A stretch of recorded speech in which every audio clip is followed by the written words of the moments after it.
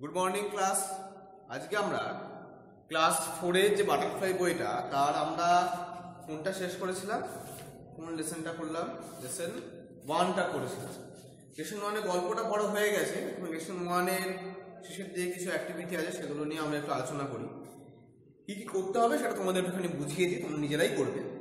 Activity five activity five কি বলেছে? যে arrange the following sentences in the correct order মানে সঠিক ক্রমে সাজাতে হবে। মানে কোনটা আগে ঘটেছে, তারপরে কোনটা তারপরে কোনটা তারপরে এরকম হবে। যেটা আগে ঘটেছে তাকে এক নম্বর দেবো, যেটা ঠিক তারপরে ঘটেছে তাকে দু নম্বর দেবো, এইভাবে করতে করতে যাব। পাঁচটা সেন্টেন্স আছে, পাঁচটাকে সেই মতো করে সাজাবে। এটা আশা করি আমাকে আর বলতে হবে না, কারণ একটা এখানে করেও দেখানো আছে। তো আমরা চলে যাই পরের অ্যাক্টিভিটি অ্যাক্টিভিটি সিক্স কি বলছে? অ্যান্সার দি ফলোয়িং কোয়েশ্চেন্স আমি অ্যান্সারগুলো তো নিশ্চয়ই বলে দেবো না। তো তোমরা কি করবে? আমি প্রশ্নগুলোর মানে বলে দিচ্ছি। মানে বুঝে তোমরা সেটাকে উত্তর লেখার চেষ্টা করবে ইংরেজিতে অবশ্যই। প্যাসেজের হেল্প নিতে পারো। মুখস্থ করে ইংরেজিতে উত্তর লেখার কোনো দরকার নেই। তোমরা প্যাসেজের হেল্প নেবে প্যাসেজের হেল্প নিয়ে নিজের মতো করে উত্তর বানাবে। উত্তর বানিয়ে দেখা দেখাতে পারবে অ্যান্সার দি ফলোয়িং কোয়েশ্চেন কি বলেছে? যে why was the old man angry at this sky why মানে কেন? মানে সেই ওল্ড ম্যান মানে সেই বয়স্ক ভদ্রমহিলা, বয়স্ক মহিলা কেন আকাশের উপর রেগে গিয়েছিলেন কেন রেগে গিয়েছিলেন এটা তোমরা নিশ্চয়ই জানো। গল্পের মধ্যে আলোচনা হয়েছে এটা। তো সেটা তোমরা লিখবে উত্তরে এবং বাংলায় নয়, ইংরেজিতে লিখবে। What did the sky do to avoid the dust avoid মানে এড়িয়ে যাওয়া মানে আকাশ এই ধুলো এড়িয়ে যাওয়ার জন্য কি করেছিল সি বলেছে why did the woman keep on swimming যে কেন সেই মহিলা ছাদ দেওয়াটা বজায় রাখেন, ছাদ দেওয়াটা জারি রাখেন, কেন রাখেন? তার কারণটা তোমাদের লিখতে হবে। তারপর একটা হাইপোথেটিক্যাল একটা কোশ্চেন সেটা হচ্ছে is the sky your friend আকাশ, কি সত্যি তোমার বন্ধু? Give reason for your answer তোমার সেটা নিজের মতো করে উত্তর দিতে পারো। এটা অতটা তাও ইম্পর্টেন্ট নয় দিতে পারলে খুবই ভালো, কিন্তু যেটা প্রথম তিনটে এবিসি এই তিনটে উত্তর দাও প্যাসেজ থেকেই পাবে, সেই প্যাসেজ অনুযায়ী তোমরা লিখবে। চেষ্টা করবে অন্তত লেখা।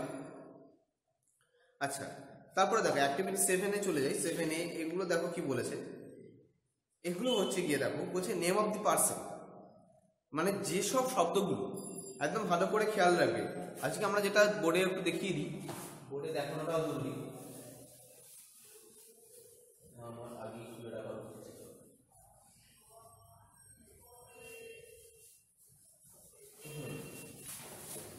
বোর্ডে একটু দেখে নাও তোমরা। এটা হচ্ছে গিয়ে প্রপার নাম। তোমার সেই মতো তোমরা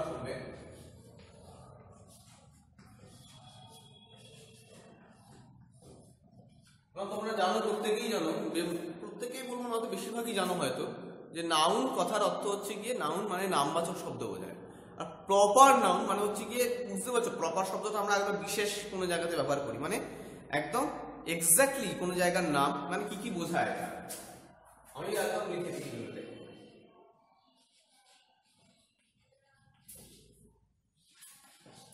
name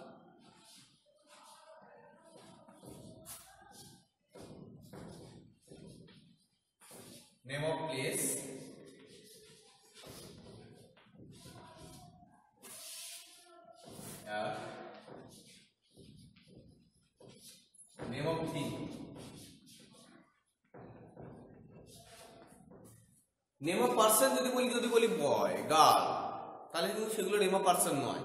পার্সন নাম ব্যক্তির নাম বলতে হবে। যেমন যদি বলি আমি রাম ইজ এ বয়, তাহলে রাম হবে এখানে কিন্তু name of the boy name of the person. তো সেক্ষেত্রে রাম হবে কিন্তু প্রপার নাম। নেম প্লেস যদি তোমরা বলো, তাহলে নেম প্লেস হতে পারে, ধরো বলছি আমি তাজমহল। তাজমহল যদি বলো, আমি যদি বলি হিলি রিজিয়ন বা মাউন্টেন মানে পর্বত মানে সেগুলো কিন্তু, এগুলো কিন্তু প্রপার নাউন নয়। পর্বত অনেক রকমের হতে পারে, কিন্তু তাজমহল তো একটাই পৃথিবীতে। বা এভারেস্ট যদি আমি বলি, এভারেস্ট তো পর্বতের মধ্যে একটাই এভারেস্ট তো তিনটে হতে পারে মানে সেটা একটাই হবে। সেগুলো হচ্ছে কি নেম অফ প্লেস এখানে চলে যাবে। আর নেম অফ থিংস যদি বলি তখন যদি বলি, আমি একটা নিউজ পেপারের নাম, বললাম আনন্দবাজার পত্রিকা। তার একটা কাগ- কাগজের নাম, আর একটা বস্তুর নাম বোঝাচ্ছে নিউজ পেপার বললে শুধু হবে না নিউজ পেপার বলতে অনেক রকম নিউজ পেপার হতে পারে। খবরের কাগজ অনেক রকম হয়। বা যেমন ধরো, বলতে পারি যে বাটারফ্লাই বুক এই যে তোমাদের বই, বইয়ের নাম বাটার বই একটা বস্তু। তা বাটারফ্লাই বই বললে তো হবে না, ইংরেজি বইও অনেক রকম হতে পারে। তো সেক্ষেত্রে বাটারফ্লাই বলবে তো সেক্ষেত্রে এগুলো হচ্ছে কি, কিন্তু নেম অফ থিং এ চলে যাবে। এই হচ্ছে ব্যাপার, মোটামুটি বিষয়টা এরকম যে কোনো কিছু ব্যক্তির নাম, বস্তুর নাম মানে ব্যক্তির নাম, জায়গার নাম, বস্তুর নাম, এই তিনটে খেয়াল রাখবে। আরও একটা জিনিস তোমাদের সুবিধার্থে বলে দিই প্রপার নাউন সেন্টেন্সের যেখানেই বসুক, সে ক্যাপিটাল লেটার দিয়ে শুরু হবে। সেন্টেন্সের শুরুতে যে শব্দ বসে, সেটা তো ক্যাপিটাল লেটার দিয়ে শুরু হয়ই। সেটা তো ক্যাপিটাল লেটার দিয়ে শুরু হয়। কিন্তু প্রপার নাউন হচ্ছে এমন ধরনের নাউন যেগুলো সেন্টেন্সের মাঝখানেও যদি বসে, সেখানে কিন্তু সে ক্যাপিটাল লেটার দিয়ে শুরু হবে। এবং এটা কিন্তু প্রপার নাউন আইডেন্টিফাই করে। প্রপার নাউন চেনার একটা কিন্তু খুব মুখ্যম উপায়। যে প্রপার নাউন সেন্টেন্সে যেখানেই বসুক, সে কিন্তু ক্যাপিটাল লেটার দিয়ে শুরু হবে। এবং এই প্রপার নাউন চেনার কাজটাই তোমাদের সেভেন এ সেভেন বিতে করা হয়েছে। এবং তোমরা সেটা দেখবে, চেষ্টা করবে করার। এরপর চলে আসি সেভেন সি আর সেভেন ডি একটু আলোচনা করে দিই। নিউটার জেন্ডার আর কমন জেন্ডার ভালো করে শুনে নাও নিউটার জেন্ডার নিউটার জেন্ডার মানে হচ্ছে যেসব বস্তুর প্রাণ নেই। বোর্ডটা একটু ক্লিয়ার করে দিই।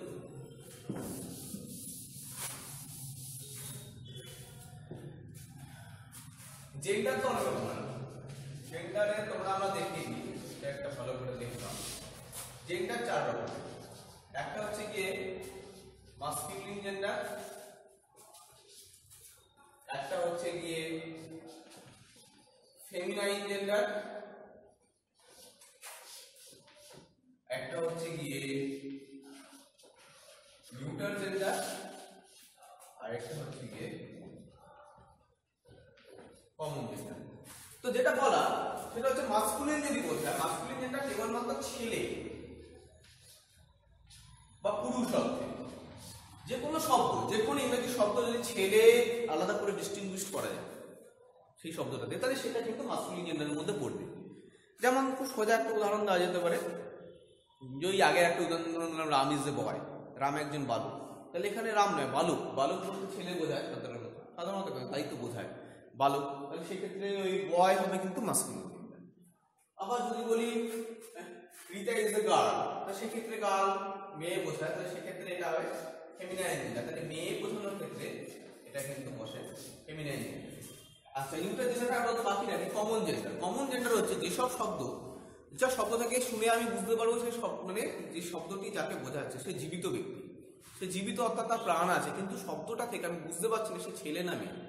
সে ছেলেও হতে পারে, সে মেয়েও হতে পারে।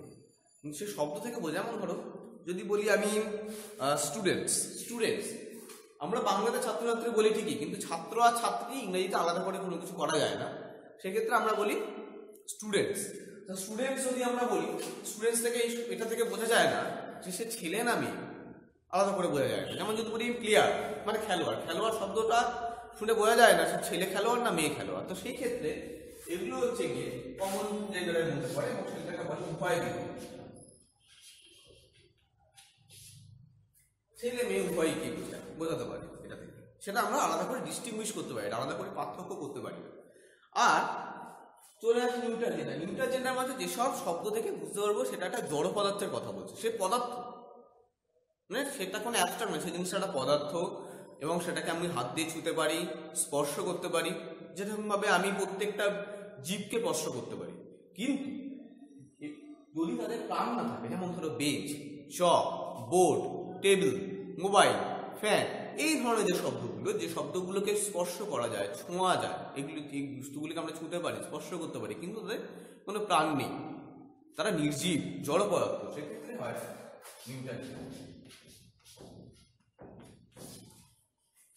সেক্ষেত্রে হয় নিউটন জেন্ডার। তো এইগুলো খেয়াল রাখবে এবং তোমাদের যেটা অ্যাক্টিভিটি সেই অ্যাক্টিভিটিগুলোতে এইটা আর এইটা তোমাদের এবারে রয়েছে। অ্যাক্টিভিটি সেভেন সি আর সেভেন ডিতে তো তোমরা সেটা সেই অনুযায়ী আলাদা করবে আন্ডারলাইন করতে যদি বলে আন্ডারলাইন করবে, চেষ্টা করবে করার। পরের যে অ্যাক্টিভিটি রয়েছে অ্যাক্টিভিটি এইটে এইট বি এইট এটা তো বুঝতেই পারছ, এই হেলথ বক্স থেকে শব্দ তুলে বসাতে হবে। প্রত্যেকটা শব্দের মানেই আমি ক্লাসে আলোচনা করা হয়েছে। তার ফলে আরেকবার ভিডিওগুলো দেখতে পারো, অসুবিধা হলে জিজ্ঞাসা করতে পারো। আর এই ডিবিতে মেক সেন্টেন্স মেক সেন্টেন্স নিজেরা করবে, এটাও আমার কিছু বলার নেই। আর আপাতত ঠিক আছে, এগুলিই করো। এগুলিই কাজ থাকবে। পরের দিন আমরা আমরা লেসন টুয়ে যাব। যদি পারো, যদি সম্ভব হয় অ্যাক্টিভিটি নাইন এ নাইন বিটাও চেষ্টা করতে পারো। যদি সম্ভব হয়, আপাতত চেষ্টা করো এরমভাবে, পরের দিন বাকিটা দেখা যাবে। Thank you